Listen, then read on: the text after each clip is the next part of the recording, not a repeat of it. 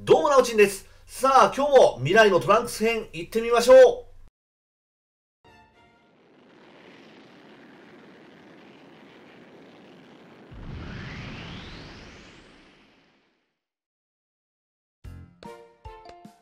母さんただいま。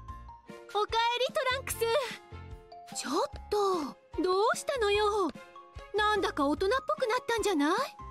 はい。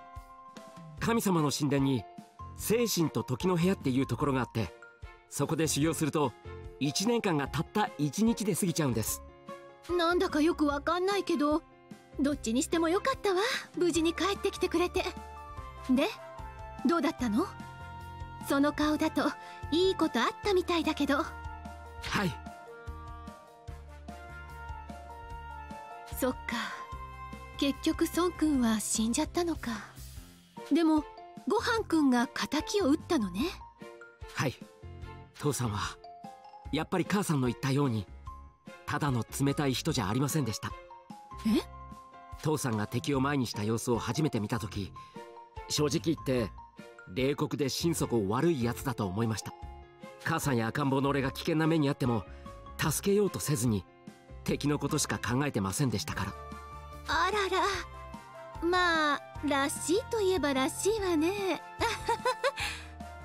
でも1年ほど2人きりで修行した時周りを寄せつけず自分にも厳しい不器用な寂しさを感じたんです。そうね。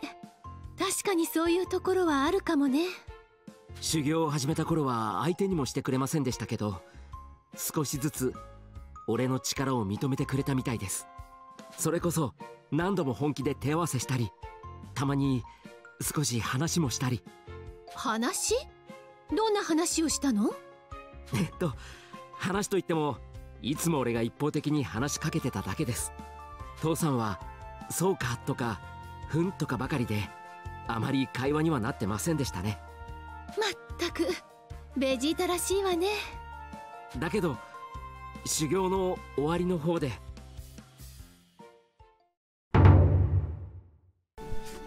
ちょっとビルス様、戦ってみようか、久しぶりに。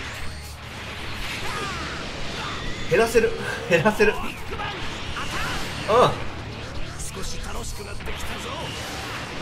ビッグバンアタックだけでいけるわ。うんうんうんうん。レベル差こんぐらいあれば、消せるでしょ？オッケーオッケーオッケーオッケーオッケー。まだヒートアップしてるときはちょっと寄らんとこう。さすがに減るわ、減るわ。結構減るわ。